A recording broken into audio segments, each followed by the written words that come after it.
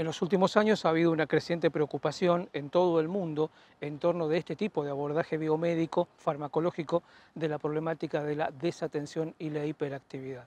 Existen equipos en todo el mundo trabajando entonces en alternativas a este tipo de soluciones mágicas. En Misiones, por ejemplo, un equipo desde hace ya varios años viene abordando esta problemática a través del programa Infancia sin etiquetas.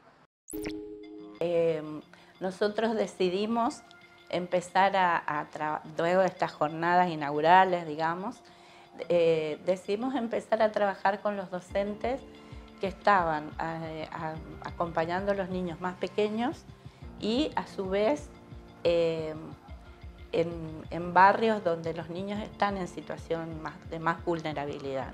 Hicimos convenio con la Asociación Jardín de los Niños que tiene una guardería en el barrio San Francisco, otro en el barrio San Jorge, otro en la avenida Eva Perón y Chacabuco, o sea, todas zonas donde hay niños y familias en situación de vulnerabilidad. Para, em, bueno, trabajar con los docentes y con las familias, los, digamos, los adultos que en estas etapas de la vida acompañan a los niños. Y bueno, eh, realmente fue muy interesante eh, cuando planteábamos esta problemática, cómo bueno, aparece, aparece, apareció toda una cuestión reflexiva de los docentes eh, en esto de la tendencia a etiquetar a los niños, ¿no? Y cómo esta etiqueta pasa, como eh, cuando el niño pasaba, en este caso jardín, de una sala a otra, ya estaba este, nombrado como él tal cosa, ¿no? Y esto se iba pasando de docente a docente. Eh, y la familia también, ¿no? como dentro del grupo de niños tenían un hijo que empezaba a ser el hijo difícil, el hijo, no sé, con el hijo problema. Entonces, bueno, empezar a deconstruir esto, ¿no? empezar a, no quedarse con, con, esa conducta, con esa eh, distracción, con sino, bueno, ¿qué, había ahí? ¿Qué, qué, qué nos estaba diciendo el niño? Una decisión importante fue eh, plantearlo desde las representaciones sociales de la infancia.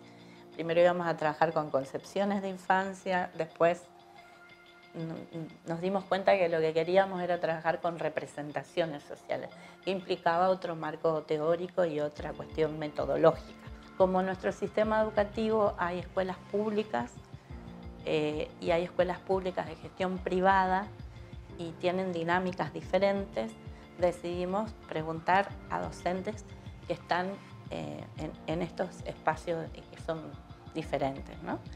Y mm, para también eh, utilizamos una técnica que son los grupos focales, que son entrevistas grupales, son, es conversar con un grupo, en este caso de docentes, eh, acerca de la infancia. Y mm, también utilizamos una técnica que es, se llama las cinco palabras, que es preguntarle a las personas sin que, cuáles son las cinco palabras que vienen a la mente, en este caso cuando decíamos infancia. Que eso eh, lo hicimos, eso se, lo hicimos con casi 100 docentes y bueno, después se procesa la información, ¿no? cuáles fueron las, las palabras que aparecen, cuáles son las que aparecen en primer lugar, cuáles las se repiten, como para tener una idea, esto que los docentes nos decían, sin pensar estas cinco palabras, es lo que circula socialmente. Entonces, eso a su vez fue insumo para pensar cómo profundizar las preguntas en los grupos. Bueno, docentes como ustedes nos dijeron, asociaron la infancia con esto o con aquello, ¿a ustedes qué les parece? ¿no? También como, como disparador de las entrevistas. Y también decimos hacer entrevistas en profundidad a los directivos, porque creemos que el perfil del director eh, se hace que la institución funcione de una determinada manera, ¿no? De acuerdo al perfil del directivo. Así que también hicimos esas entrevistas. Bueno, eh, estamos recién procesando esa información. Y, bueno, vamos, nos vamos eh, empezando a sorprender de algunas respuestas, como por ejemplo aparece mucho la palabra amor, eh, este, y decíamos nosotros, bueno, el amor, el amor ¿no? como para profundizar cuando, cuando dicen amor, ¿qué es? Porque parece que la infancia fuera eh, amor, alegría, felicidad, como la infancia, como si la infancia no atravesara, eh, cuando uno es niño, todo fuera, como se dice habitualmente, color de rosa.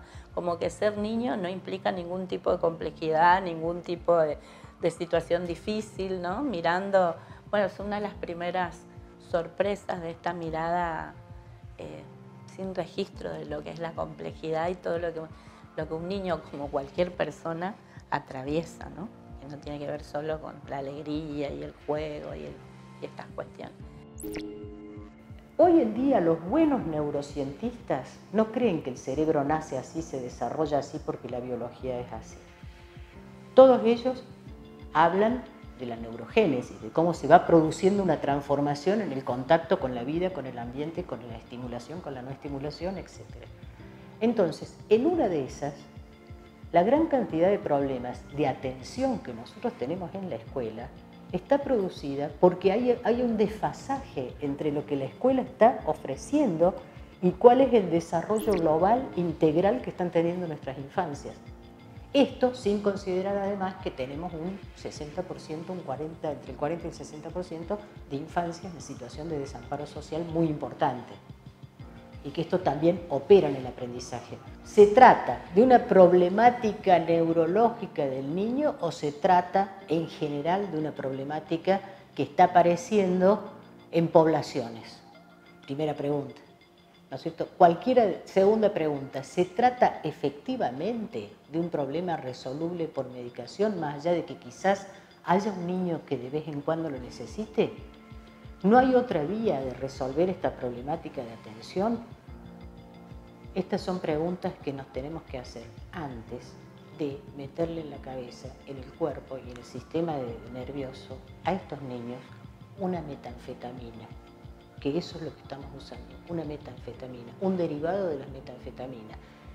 Eso, entre el año 2008 y el 2012 se cuadruplicó la importación de metilfedinato en la Argentina. Y lo están utilizando los adultos y en Estados Unidos se está produciendo un efecto más complejo todavía, que es que se hacen adictas las madres. Entonces, nosotros estamos introduciendo irresponsablemente en un sistema nervioso en formación, si quieren que lo hablemos en términos de neurociencia, una sustancia psicoactiva cuyo resultado a largo plazo desconocemos, pero que ahora, al momento y después de 20 años de que ya empezó esta epidemia, está mostrando adultos universitarios absolutamente adictos a la metanfetamina. eso es lo que está mostrando. Entonces, antes de pensarlo, ¿por qué se logra esto además? ¿Por qué se deriva esto?